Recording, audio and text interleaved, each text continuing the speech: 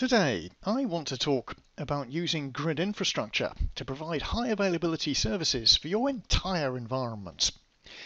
Grid infrastructure is a lot more than a platform for supporting RAC databases. Particularly in the 12c Flex Clusters implementation, grid infrastructure can provide high availability services for your application servers as well. We should all be familiar with high availability as regards the database. So just very quickly in summary, we know that your database services can fail over from one instance to another. GI makes sure that the requested cardinality of services is kept constant.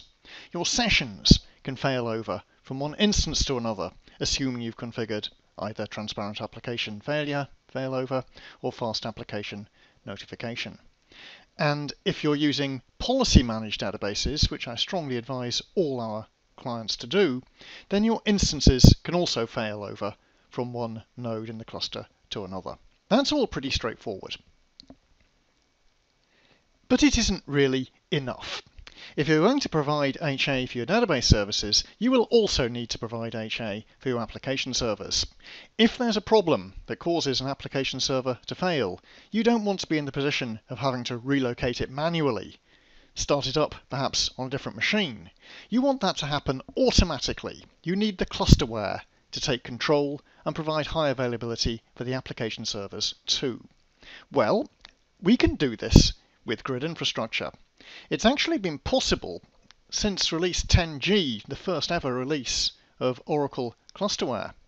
However, it was formalized and improved in grid infrastructure, and in 12c Flex clusters, high availability for application services is key functionality. Note that it isn't enough just to relocate the application. You will have to relocate all the objects on which the application relies.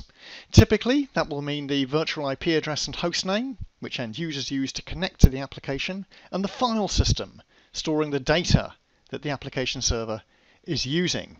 This can be quite complex to set up. However, Oracle does provide grid infrastructure bundled agents that may make the implementation easier. The end result is that you register your application services with grid infrastructure, and in the event of any problem, restart of the application and relocation of the application if necessary can be detected and will occur in seconds.